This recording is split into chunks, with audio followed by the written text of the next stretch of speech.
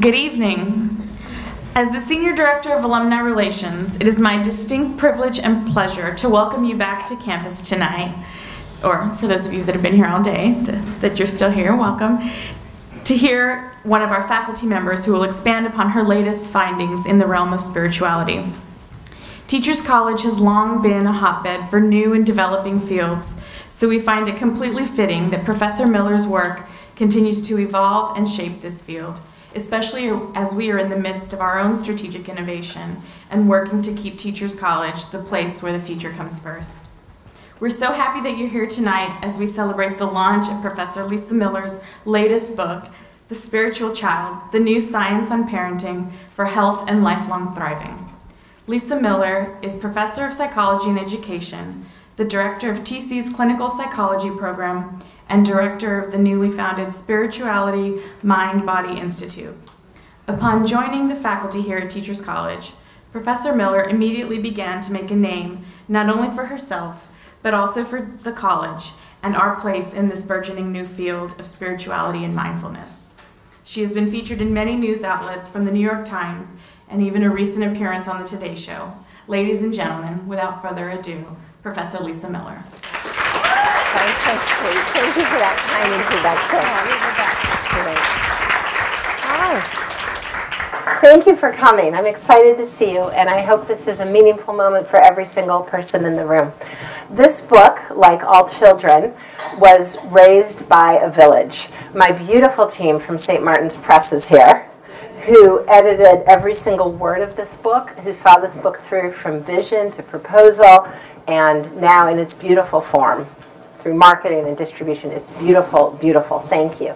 My beloved TC, we've been together. You're the only job I've ever had, my one true love. And it's been a wonderful place to grow together, like a good marriage. This has been a place of total intellectual freedom. It would be hard to imagine how this could have lived without the rich intellectual freedom, the support for new ideas, the commitment to rigor founded on integrity. TC has been an ideal space for the growth of the work in our lab, the growth of the field, and becoming now together an epicenter for supporting spirituality in the course of development. So, welcome.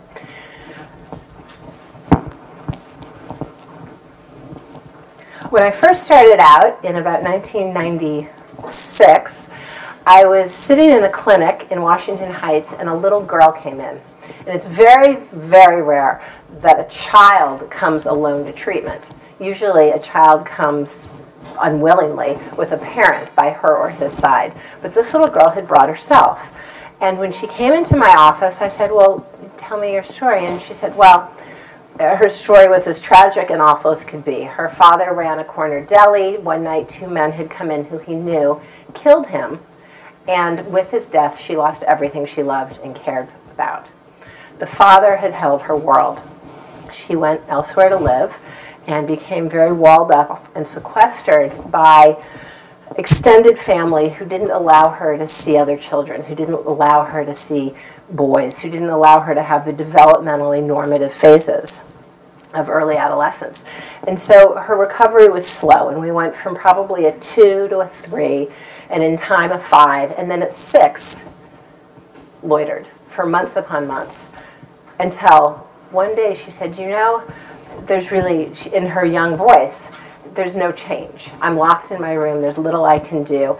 And her quest to understand boys had been to go into the teeny magazines, teeny bot magazines, and cut out pictures of boys and make a mural, which she would bring to treatment. She'd say, he seems nice, and he seems like he would be polite. And, you know, this was her chance of getting to know the sort of early phases of boy meets girl. Until one day, she came galloping into my office, changed, no longer a six. And you're not going to believe this. You're not going to believe this. And I said, well, what, what could it be? She's like, well, my, my, uh, my cousin's uncle, he chaperoned me so I could go to the party. And there I met a boy. And I talked to a boy, and he was so nice. And he was so polite. And we talked and laughed. And here's the part you'll never believe this. Guess what his name is? I said, well, what's his name? And she said, well, his name is Elvis. Don't you see? And I said, well, no. She said, well, that was my father's name. My father sent him. And when she saw her dream come true, which was actually talking to a boy, and recognized it as being filled with her father's protection and guidance still, and recognized it as outside the realm of pedestrian unfolding, but as a sacred event. My father sent him. She shifted from six permanently. And we had another platform on which to work because she and her father and the sacred presence were all one in her life again. Her father was with her, her father was watching over her, and it was with a sense of a sacred, loving, protecting universe that her father was watching over her. Things shifted for her, and that deep interweaving of the love of a parent and the love of the ultimate presence is what time and time again I've seen clinically, I've seen in teaching, I've seen in the numbers and the data is the most powerful source of protection against suffering, the most powerful wellspring of thriving in children, the interwoven effect of parental love and sacred love, which in the spiritual child we explore as the field of love.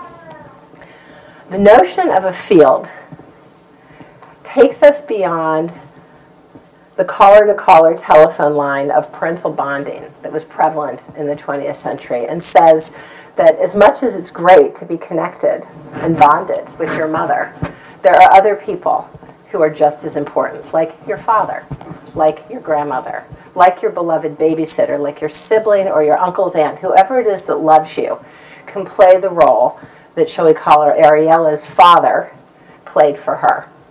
And that has been the bedrock of the spiritual child the unifying of parental love, of ambassador love, whether it's grandma, grandpa, and uncle, father, cousin, and sacred love. This book is based on science, and it's based on 15 years of science from our lab, so it's particularly thrilling to see many of the doctoral students who've contributed over the years. Can you wave your hands? Right?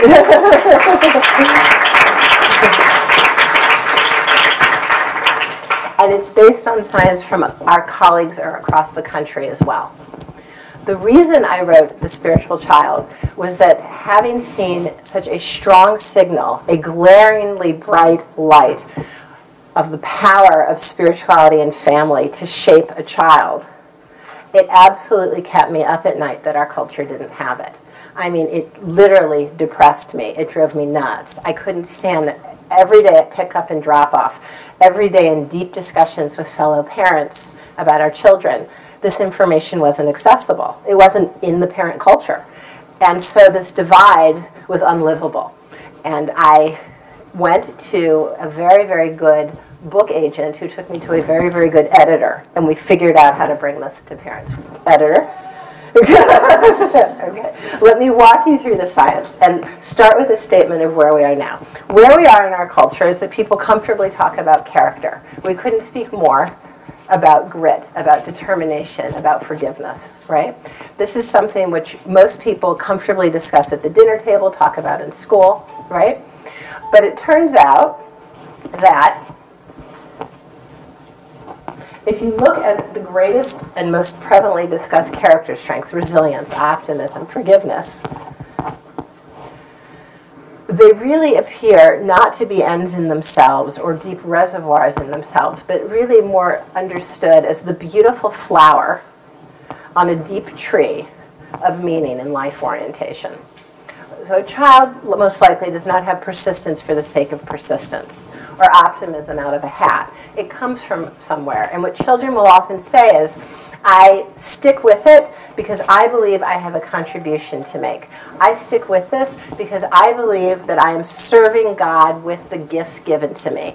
I stick with this because I am the first in my family to go to college. There's a much deeper reason why I stick with this than for the sake of sticking with it. And time and time again, we find that actually the most common reason for sticking with it is a sense of being part of a spiritual world. Jakob, big first author on this paper from our lab, shows that this top blue line shows the highly, highly spiritual child is the very same child who's loaded up with all those nice character traits The very same child high in grit, blue child, is the very same child high in gratitude and life optimism, who's the very same child who has a strong sense of living in a sacred universe. The child who says, I believe that people come into my life for a reason.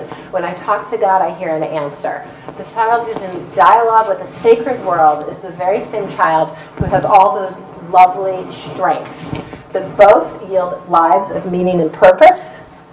And, can I trouble someone for help here? Um, and actually are associated with outward success as well which debunks the myth that somehow a child is a functioning machine or a soulful, solitary monk on a mountain. The very same child who's deep into a soulful life is the very same child who is functionally thriving. Now, the lines under that, for the most part, run in parallel. And we love all children equally here at TC. So the child who's medium on spirituality is medium on grit and optimism and all else. And this child down here, the red child, who's low on a personal experience of spirituality, is low on grit and optimism. And we care just as much about the red child as we do about the blue child.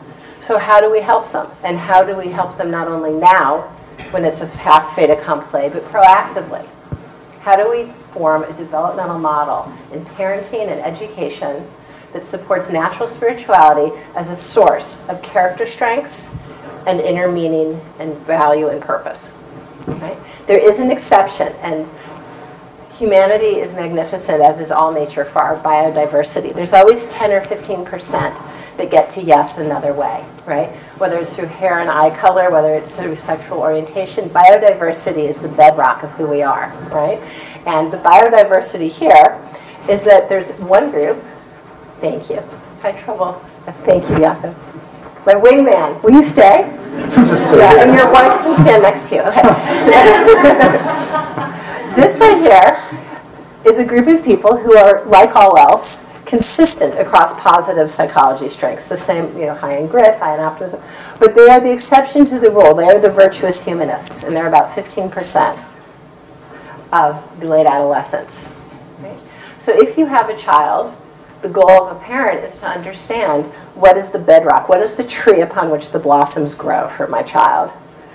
Are they a virtuous humanist? Four out of five times, their bedrock is a spiritual reality. Science tells us when we look across levels of analysis, whether we're looking at twin studies to look at the hair level contribution, MRI studies, whatever level of analysis we may be looking at, some notions about natural spirituality. And the first big point that is so important to change our view of who children are and who we are is that every child is born a spiritual child. Every one of us is born with an innate spiritual capacity which is our natural spirituality. This surges and burgeons with puberty in the second decade. And if it is supported, is the greatest source of thriving and the greatest source of protection against the most prevalent forms of suffering in the second decade. Now, one third is heritable.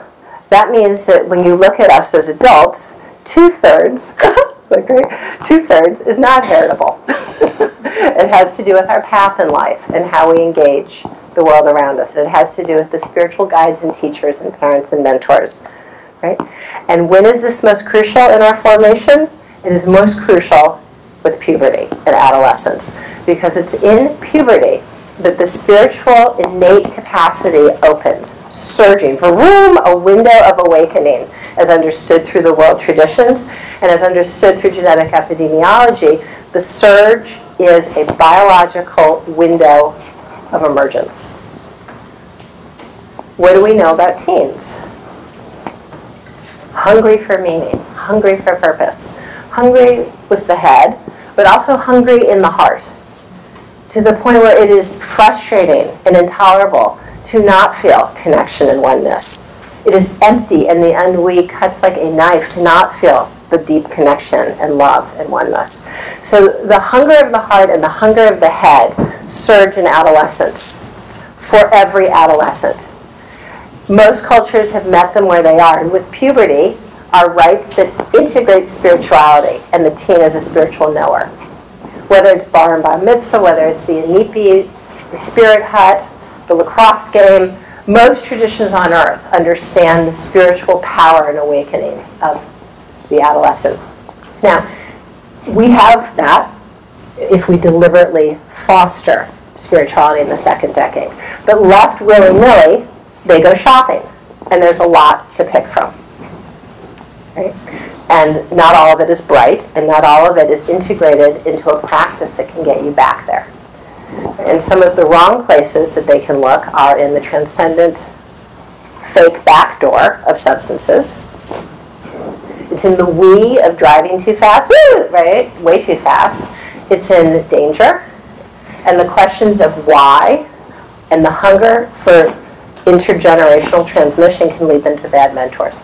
So this period of extraordinary opportunity for spiritual growth and development is also the window of greatest risk. The data so profoundly shows an interweaving of spiritual emergence and risk that it is impossible to not view them as two sides of one coin. Nothing in the sciences correlates 0.8, 0.9 if it's not really two sides of one coin in some way. And in adolescence, we see an 80% protective effect against depression with a strong personal spirituality. We see a 40% protective effect against substance dependence and abuse between a very spiritual kid and an average kid, such that between a very spiritual kid and a kid who doesn't connect, like the red line child, there's an 80%, you could say, protective benefit or increased risk associated with forming a spiritual hub. So this is the most important work we can do for adolescents. It is so important that it should be at the hub of family. If a family feels resonant and on board, we can find a place for it in community activism, in youth organizations. This can be anywhere because spirituality exists within and without of any specific religious denomination. For many people, religion is the embrace of their spiritual life. And for many people, it is through nature and relationships and other forms of practice that spirituality emerges. Spirituality can find its way as a natural human capacity and endowment along with cognition and emotion into any place we love and care and support youth. Okay, so if it does, and if we support youth, there are long-term benefits which, through the eyes of science, we can chart. Looking at the material level, looking at the structure of the brain, we find in people who establish a strong personal spirituality in adolescence, it is more likely that they will sustain that into college, post-college, young adulthood, and even later adulthood. If they had senior year, upon graduation, a strong personal relationship with the higher power, whatever word that is, God, Allah, the universe. But if someone's senior year says, I have a strong relationship with my higher power, a tra- transcendent relationship in whatever tradition that may be, that is sustained over decades. Day in and day out, it affects us. It affects us at the cellular level. It affects us at the level of personality and relationships. It even affects our brain. Everywhere that you see red, there's a thicker cortex in people with a sustained personal spirituality over years that is a very broad and pervasive region of the brain. The cortex, as you know, is processing power. It's associated with IQ. It thins with Alzheimer's. It is the engine. Okay? When is this set up? Once again, adolescence. So whether or not at 45 I have a thicker cortex has a lot to do with spiritual individuation when I'm 15 the me and not me, the picking through of all that my loving parents and loving community have taught me spiritually against my own inner compass. There's nothing more important we can do for teens than help them to establish a spiritual hub, the spiritual core. And when we do, it unfolds into an entirely different looking life. Two kids can grow up on the same block and go to the same school, and the child who's formed a spiritual hub and sees into the world, a sacred world, lives a different life. Here on the left, we have the core tasks of the second decade, identity development, understanding work and relationship. What's my path? This is the life of the spiritual self. And this is the life of the performance self, measured by outward success. I'm as good as my past math test, my past football game. Here, I have inherent worth.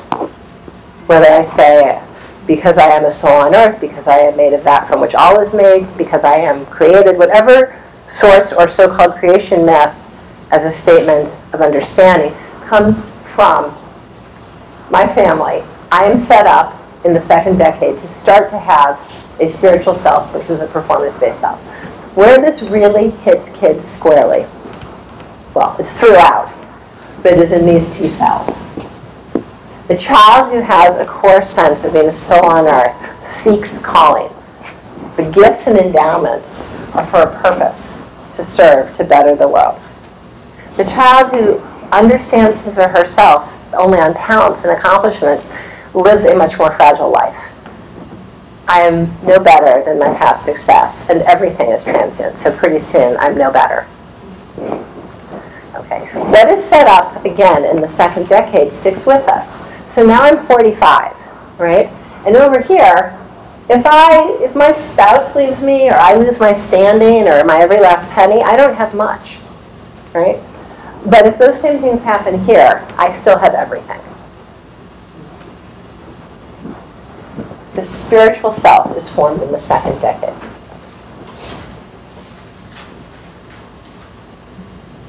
Which gives us a view, once again, onto this. A sense of a sacred self and a sacred universe unfolds into a life where things look brighter and I persist. So,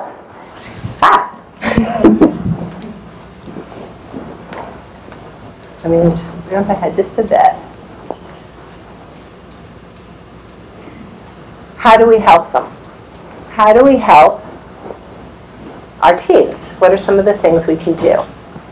Well, one is spiritual practice. Spiritual practice can happen at home. It can happen at the dinner table. It can happen in nature. It can happen in the mosque, church, synagogue. Spiritual practice can happen anywhere. And what is so fascinating is that it appears not to matter where or how it happens. The very same region of the brain that you saw represented in red to be thick in people with a sustained personal spirituality on a Judeo-Christian sample is the very same part of the brain to show cortical thickening in people with a sustained meditation practice outside of the Judeo-Christian tradition. So whether it's prayer or meditation, whether you speak of your relationship with the transcendent in a prayer cognitive format or a oneness understanding or a sense of spirit in and through all living beings, your transcendent relationship, no matter how it's told and how it's represented, seems to have the same neural correlates, which are the thickening of the cortex, the processing power what is going on? Now here's one of the most interesting findings. There's a side of our lab that looks very much at consciousness. Lauren, raise your mm-hmm. hand. Lauren has been in, involved in these discussions for several years and important to these discussions. Meditation, prayer, what is going on? We've looked at multiple levels of analysis at the body, at the cellular level, at the brain. But to step back and take a bigger view, Science also has some rather profound suggestions. The brains I showed you in red, as measured by the MRI, also, also were assessed with an EEG. Right? The very same people who had a sustained spirituality and thickening of the cortex came in and did an EEG, a measurement of the energy on, on their head. And their heads were shown to give off a wavelength, high amplitude alpha, High amplitude alpha has another name. It is Schumann's constant, right? And that is the energy at the Earth's crust. So the spiritually engaged brain is vibrating within the band of nature. We are experiencing oneness because we are indeed part of oneness. Now, how do we help children? How do we help children build out of that practice, whether it's meditation, prayer, spirituality, the translation to identity and work? How do we help children integrate into daily life that felt spiritual experience? And here science also has some answers. The greatest thing as parents that we can do is to be transparent about our own spiritual life. To talk about dark night of the soul, questions emptiness, to pray out loud, to meditate side by side, but to be on a journey together. Because again, it's the interweaving of the parent's love and the sacred love that is the hub of spiritual formation. There are other things we can do too. With a young child, we teach them apple and banana. Couldn't we also teach them a language of spiritual experience? Right? And methods of spiritual knowing. Take seriously their sudden statements about God and their hunger to go to the graveyard or pray or sing with the rabbi. Naming, sharing, and most of all, showing up and meeting them where they are. They've been talking about this all along. And as a culture, we've had cultural earmuffs on because of our lens. When we sat down with hundreds of teens from traditions all over the world, Baha'i kids, Buddhist kids, Latter-day Saint kids, time and time again, the children would say, you know, I think about this all the time, but no one's ever asked me. They'd say, oh, you want to talk about that? They were delighted and surprised that an adult took an interest in these felt spiritual inklings. That is our open door. That is our shot at all of the good things that come because we're meeting them in a child centered way, as we do here at TC in all forms of pedagogy, meeting them where they are and asking them to help guide us. We're regarding them ultimately as a source. So let's talk. Thanks for coming. Let's talk. Let's keep thank you.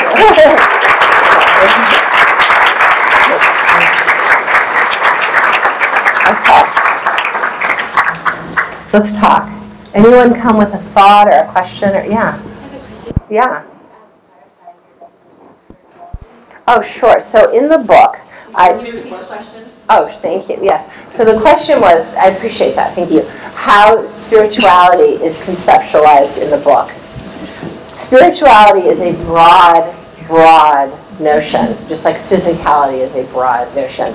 The book chooses to focus on that dimension foremost of spirituality that the science, time and time again, has been shown to be the dimension of spirituality most protective against suffering and foundational to thriving.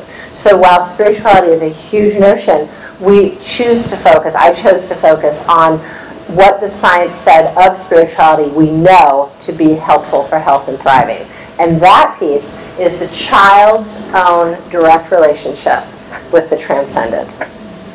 Whether it's prayer or meditation that gets them there or direct knowing, the child's felt sense of relationship to their higher power.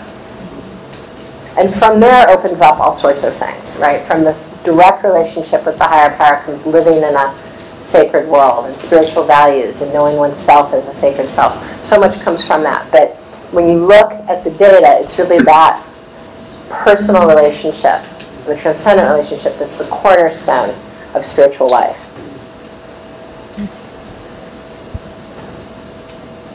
Other thoughts? And yeah. Hello. Hi. Um, can you speak a bit about, you know, we have this timeline of the adolescent that develops this wonderful spiritual identity, and we also have that chart, like, of those who may not. They have that, um, my value comes from what I accomplish. What in your experience or in your research has most often like facilitated the movement of somebody who's an adolescent in their late teens from that one column, suddenly they realize or something facilitates their trajectory into the other column? Right, that's a great question. So how do I move from a performance self or perhaps feeling disconnected or unaware of spiritual connection to a deep spiritual connection? There are several ways. I'll do three I've heard the most from, from our interviews. The first is suffering, time and time again, and in particular, the edges of life. So a relative who they love dearly is ill, or someone dies, and it's really the suffering at the edges of life that awakens the deep quest in many teens for what then ultimately is the purpose. And through that, if you are meeting them as a teacher or a parent or a mentor, that is your opening to be on the deepest, most firm bedrock possible, which is they're asking that in the ultimate sense. They're on spiritual quest. That's one way. Another is simply spontaneously because of this emergence. Suddenly they'll ask things that, that you know, I, I, didn't used to think about this, but suddenly I find myself wondering, does God exist? And I didn't used to want to do this, but suddenly I find myself wanting to try to see what it'd be like to meditate. So there is a spontaneous awakening for many teens. Then another is ritual that involves other youth. So kids who go to prayer-based camps or kids who go on nature hikes. We were out in Utah speaking to some adolescents, and she had been through a very difficult time of pain and struggle. And it was with her loving mentors, who in her case were teachers, on a hike in a national park in Utah that she saw the glistening on the water, which nine times out of ten is part of spiritual awakening for teens. It's very intense.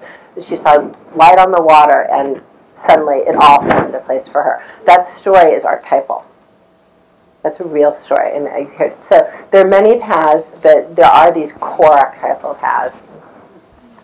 And they do shift, and they stay shifted. But the teen needs support to build that spiritual experience into a platform of daily lived spiritual values and mission and sense of self and you know, a roadmap, a spiritual roadmap. We often find when we speak with adults that many people have had profound spiritual experiences and they've tucked it into a drawer and they know it's special, but it's put away, and it could be opened up to lead to a different life, perhaps of more f- fulfillment and optimal living.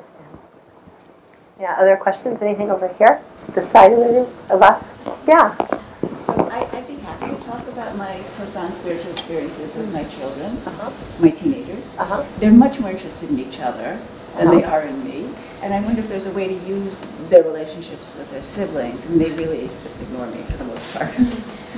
Has there been one or the other on their own, but yeah. when I put the three together, it's Okay, so great question. Here's, here's, you'll love this. This is such a relief. Wait till you hear this data. So when we talk with teens, we found that these deep, quiet circles just amongst their siblings or peers is where the deep soul searching would happen, the integrated integration of spiritual questions with the heart and, exploration of ultimate meaning. You know, the, the metaphors in someone's basement or den, they would talk, or in a quiet corner of school. But when we looked at the data, what we actually found was that the people in that room who they'd selected to dig into life's biggest question were nearly identical when it came to spirituality with their parents. So all this work you did in the first 15 years set their register for their very cloistered, very independent, very peer driven inquiry in adolescence. So you're there. well, someone who wants, the, where you've gone, in, if, if you prayed at home, if you thought, talked about God, if you meditated, if you said, I sometimes feel the sunset, is nature showing. If you, how you talked about the world in a deep spiritual way opens their register of experience and paves a road in that they will return to and they will return to it in an age appropriate way, which may well be in a hidden corner with other peers. but you did a lot of work to help them get there. Um, yeah, and that said, I, I, I can't help but wonder if you were to share something of deep, deep personal value, if they might just be riveted and remember it forever. Yeah. Since uh, our kids spend two thirds of their waking time at schools, mm. how can we take this message to the schools? Great question. So I just returned from a meeting of 200 school heads in Chicago, and many of these schools are doing faculty reads. And the um, Teachers College will, November 9th, host a large meeting of educators, teachers, school heads to explore how the core experience of spirituality including most of these people are from non denominational or secular schools, can be brought in to their school in their own terms, in their own way. The reason we designed the conference where we asked them to come share their thoughts was because this is not something that's going to change in a top down way. If we want spirituality to be alive and integrated, it'll be because people in their own heart, on their own terms, with their own language and mission statement, see its possibility. So we're asking teachers, we're inviting teachers and educators to explore and then come share what they've discovered. So that's how we're going about it an iterated bottom up way. Yeah. Um, seems that both parents are spiritual or interested or curious, mm-hmm. it'd be easier to communicate with the student with the child. But what if one parent is emerging or exploring, the other parent is super cynical? How does have you experienced that, and how does that affect? Okay, could you hear? What if what if there's not a match between parents? And there's many ways that there's not a match between parents, right? Um, the most important thing I'll tell in a, another metaphor. We very often will meet children who have one parent of one faith tradition and one parent of another faith tradition. And there's two ways that that unfolds. One is that everyone talks about, in their own voice, their spiritual path you know, in my tradition of Judaism, I often felt that God was present when all the generations were at the Passover table. And my spouse says, you know, as a devout Catholic, for me, it's really in Mass. And, and so everyone speaks in the first person. And when everyone speaks in the first person, the child knows that the spiritual life is real and that we each find, as the picture of the second decade, our way to the direct transcendent relationship. That is wonderful. People don't need to match to be spiritually alive and have the child engaged and working. The other thing we sometimes hear is that my mom is an X and my dad is a Y, and so it's all confusing and we don't talk about it. And, and that, you know, is really part of a larger social discussion that when it's uncomfortable to talk about, we can kind of back off. But knowing that the science says spirituality is a natural human capacity it's like not talking about eyesight and not getting your kid glasses. You know, it, I think will help parents feel encouraged that the discussion is worth having and maybe start to explore on their own their own first person experience of spiritual life. Other thoughts? Yeah. About the connection you were making between the importance of not just connecting with the mother, but connecting with other, it's not, I mean, you said adults, um, and is that directly connected to this spiritual life, or is that separate, or? It's a lovely question. Thank you. So the child has a natural spiritual compass. There is a process that we've seen in science of selective spiritual socialization, where amongst the adults, neat, neat, neat, neat, neat, the child locks on to the adult with the healthiest, fullest spiritual life. And where we see this most saliently is in children of opiate addicts. The child ends up being concordant spiritually with the other healthy adult whether that's a grandparent or the mom's partner. But the child is a knower. The child is not a blank slate. The 30% that's heritable, the child is a powerful knower and resets the whole family. So that child will seek, if possible, in any way, shape, or form, a healthy spiritual, essentially loving relationship through which this all forms. Now, there can be no one else in the house. But if I take my child to a spiritually enriched place, a church community, a service group, at some forms of some schools, a place where there can be an adult, I could be absolutely wiped out with clinical depression.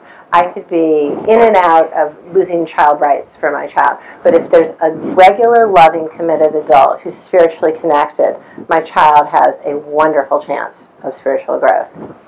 And we saw that because children of opiate addicts who had connected with a spiritual adult other than the opiate addicted mom had rates of spirituality consistent with national averages. They were normal spiritually. Their moms were opiate addicts. Their mothers only had 4% rate of spirituality. Yeah, it's a great question. So if I just can't deal and I'm out of it, just take my kid where there's a spiritually rich environment. Did you have a question? You came from Texas, right? Well, then you, you came the farthest. I, I, I didn't have a question, but I want to know when you first knew your own spirituality. Oh, thank you for asking. Um, I think we all have it available to us always. Um, I am clear that as a child, it was clear to me that that was real, and those were sort of the axioms of the way the world worked.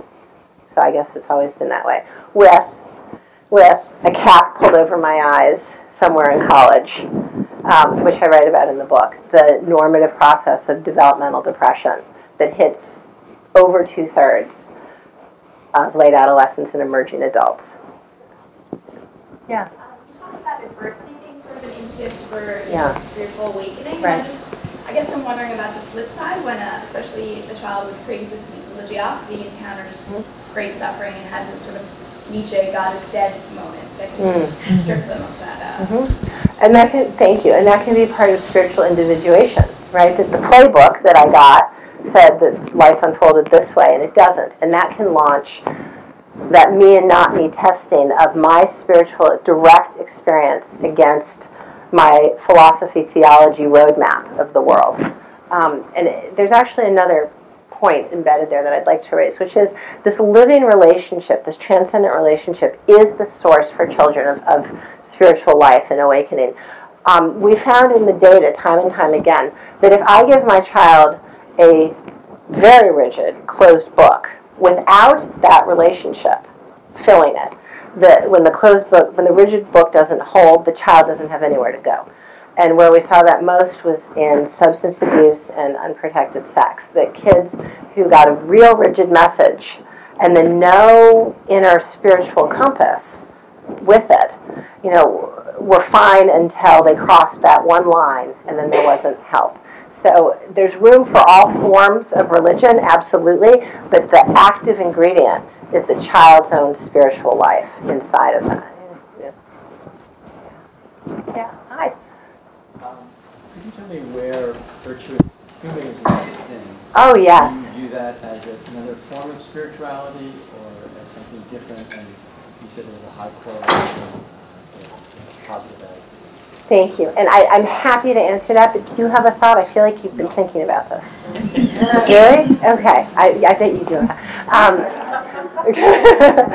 okay. So the measures of spirituality that have been developed over the past 15 years oftentimes engage the notion of the of the sacred, the transcendent in and through. But there are people, about 15%, and if you look when they're older, it's more like 20%, who do not experience that strongly. Now, we would expect that. First of all, we would expect that because, as all its distributions, a heritable trait, like the transcendent relationship, would have a distribution, right? The other reason we'd expect that is that most good things, um, which we're talking about now, as well as bad things, which we're not talking about now, most good things have multiple paths, right? So the virtuous humanist we see is absolutely getting to values of virtue and character strengths of outward initiative and capacity.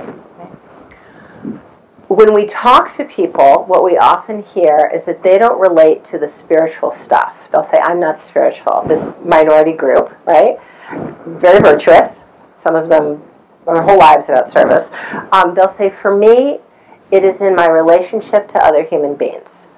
And it is very specifically in their, the space between people that is meaningful and purposeful. Whether it's commitment to family, whether it's a life of service, but it is that's what we hear most of all. And science hasn't gotten there yet, but there's plenty more to be done. Um, we know that for the 85% for whom the spiritual life is foundational, science hadn't gotten there at all 15 years ago, and we built a lot quickly, which is in the book. So we're on a roll. Yeah. Lisa, for those of us who don't have adolescents yet, uh, but you know, sort of that 10 and under, what might we do, or what has your research shown in terms of preparing children Great. for that crucial period? That's beautiful, the word prepare. So there's two things. One is in the first decade, we can give them the tools and language of spiritual life. We can give them a practice of connecting to the transcendent, so it's there for them. We can give them the notions of connecting head and heart, so that when it's amped up with adolescence, they remember I'm, I have a question of my head. Can I answer it with my heart? As opposed to spinning with my head as I move from philosophy to theology to depression. Right. So that those are tools we can give them. But the other thing we can do, and the book talks a lot about the important first decade, can be a setup. It's never too late. We can always get in there. But if my my tween is 10 or 11, I can let them know how magnificent this is about to happen. This may happen to you. You might start wondering about the big questions. You might start feeling the sense of connection. I, if it does, I'd be so interested if you want to talk about it. Because they think we're not interested. They think that the most extraordinary thing that they're starting to notice spontaneously they're not even sure if it exists because we don't talk about it. So our regard and attention and honoring of spiritual awakening is the bedrock on which they can do a lot of the growth. religion classes, et cetera. Mhm. Can that enhance and also inhibit? I mean, is there? So it depends how it's taught, right? I mean, does it allow for the me and not me, the question of the heart, digging in? You know? So in the book, there's two beautiful cases at the end, and one of them is of a young man who was addicted to pornography for a decade. And all the while, this man, who we call Kurt in the book, was the golden boy of his very religious community. He was, you know, the school president, and he was had a position of meaning and honor in his religious community. All the while that he was so admired outwardly, he felt unworthy. He felt outside the radiant light of God. He felt like he was a bad person, unworthy, and there was a horrible split for him because he felt that he had lied to others, lied to God. He was an impostor. His healing had to do with unifying his spiritual heart with his natural sexuality. And he said, All I wanted when I was a teen was for someone to tell me, or even just ask me the question, What does your spiritual heart say about your sexuality? All I wanted was for someone to help me bring them together.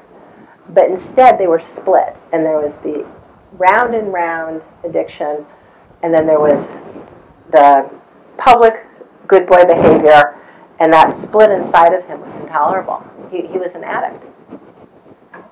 So we can prevent that by forming a spiritual hub that engages all forms of human development sexuality, identity, everything.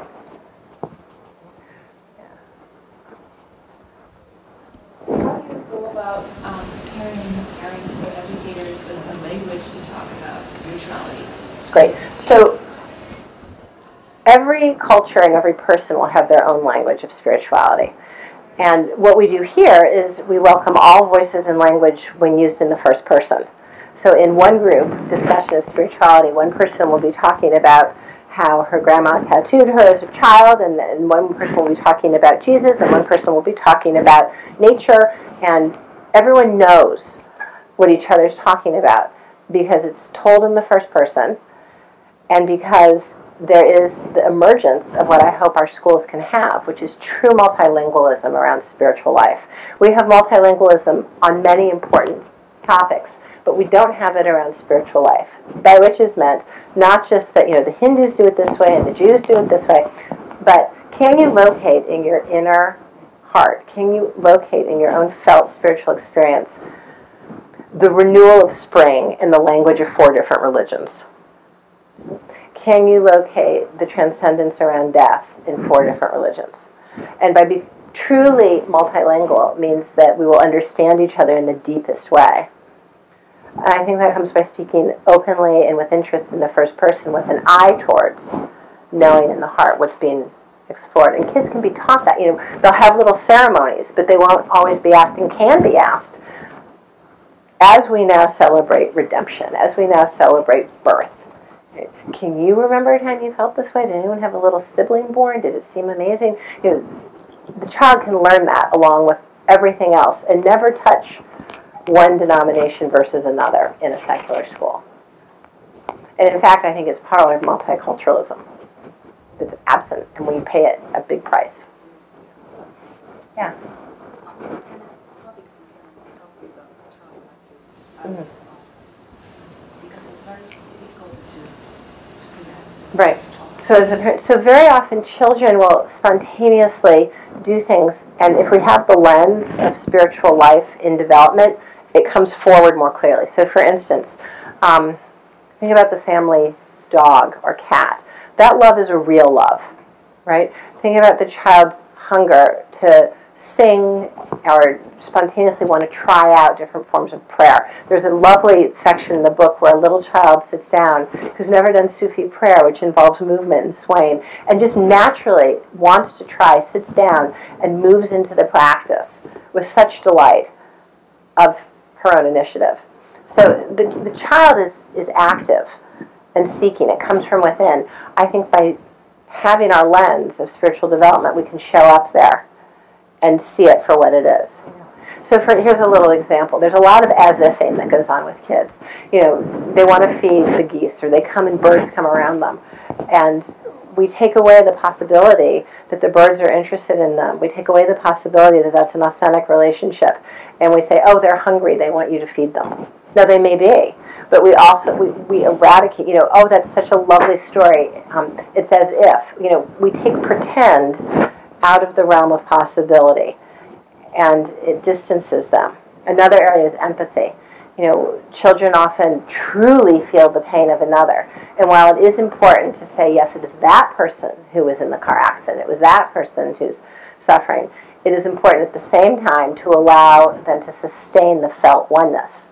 You know, we are both one and we are separate. That's our condition. We're both one and separate. We teach them a lot of separate when it comes to empathy, but that they, that is a real oneness empathy, a unit of empathy. They're born with that. They wail. Babies wail. When one baby wails, other babies wail. It's probably not because they want to be fed, right? They feel that suffering. Yeah. When my son came home from an orphanage, I'd, I'd, noticed when I visited the orphanage that all the babies, these wonderful women, put the babies in a circle, and the little babies on their tummies would help out each other. If one baby cried, they'd hand them a little toy. And there was a sense of, you know, under 10 months relationship and care. So my son comes home. Um, we gave him the name Isaiah. I take Isaiah to the suburban beach. He has the one thing in the whole world that he loves, which is a cottage cheese container. And generously given by his mother. and we're at the suburban beach, and someone sees it, and he goes like this. He doesn't think twice. He hands it to the child. And the child plays with it and drops it, and then Isaiah picks it up again and is excited about his cottage cheese container. And this time the child looks at it, and the child rips it out of his hand. He was one. He didn't look sad. He looked flabbergasted. He had never seen mine. So that mine, that notion, it was shocking to him. So this, this generous empathic oneness self can be sustained all the way into our adulthood, alongside the fact that we also are simultaneously separate and socio-biological and all that. But we're both.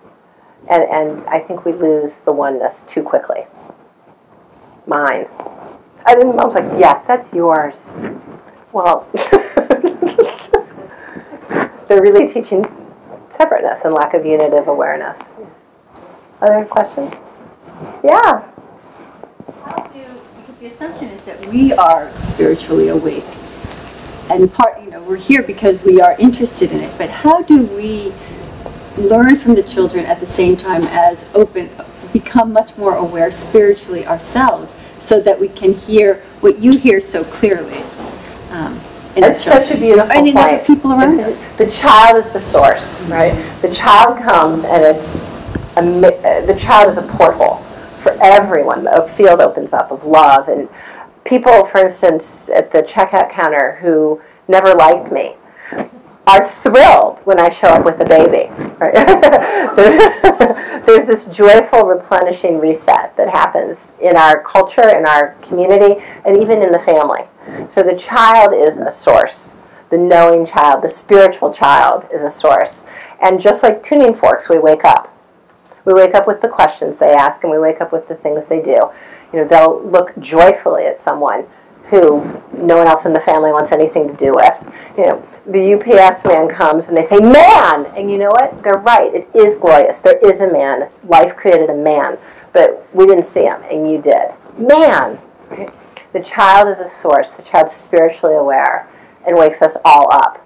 So I, I'm so grateful you brought that in. And that's central to the spiritual child. The child is a source of spirit for the family. Should we do one more question and then we'll have fruit and cocktails? Yeah. Say the child, this is kind of an education and home question. I'm an educator. Say the child, or there is, uh, you spoke of like multilingualism and education. And say that does exist in a school, and for example, I, the teacher, say what my experience is at the school in the context of like this multilingualism, and then the child goes home and um, kind of shares that and, and, and shares maybe my experience or totally gets my experience, right? It's true for them too, or they understand and, and reconnect. But then the child goes home to like a mentor, someone that they've already kind of connected with spiritually in their family, maybe it's a parent or any kind of other transitional figure like that you speak of. And they talk about kind of like this truth or something that was true for them at school. But it's not for the mentor. And the mentor openly kind of says, because something that is different for them spiritually, but there may not, so then, so then what potentially happens is there's kind of like this split. The child feels like, well, maybe what was true for me in that moment, it's not true now. Okay. Because the way they connected to that mentor. What do you say to that? So there's so many of rich points. Okay, there's so many rich points. Let me try to pull out a few that I think are, they're all important, but a few that I want to highlight. One, um, the mentor is the carrier of the message, right? So a loving mentor is the infusion of spiritual life along with the message and practice. It's that intertwining of the mentor's love or ways with the spiritual message and spiritual experience. That can swing both ways, right? There's enormous damage done when the messenger undercuts the message of spiritual life, and we know how damaging that is, right? So we have people say that I was disavowed for being who I am because of my X, Y, or Z, and it cut me off from God. When I left from my bad mentors, my house of worship, I threw the baby out with the bathwater. The mentor has an enormous impact, and when it goes well, the mentor is in fact a taste, an ambassador of the sacred presence. That's extremely important. Um, another point that I, I hear embedded in there is that spiritual life is universal, told in the many languages and practices. And a child can be helped and encouraged to know there is a universal spirituality core to our endowment that the Joneses talk about this way, and the Brahmoses talk about this way, and the Lees talk about this way. And this, you know, in our heart is this core felt love, this ebullience. Describe it in whatever words work in your family. Um, that allows them to go anywhere and hear any message and still return to their own heart because you've authorized them as a spiritual knower. It didn't come from out there. At the end of the day, it came from in here. Other one more question? Okay. Ben, thank you for coming. It was really fun.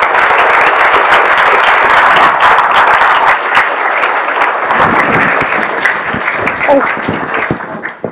You all for being here to celebrate this wonderful um, achievement and beautiful words that you've shared. And we, I think all take a little bit home from the beautiful stories that you shared with us, as you always do. Um, Lisa will be signing books here if you've purchased one. We still have a few more for sale if you'd like, but there's still plenty of bubbly to continue the celebration. So please enjoy and thank you very much Thank again for for being here.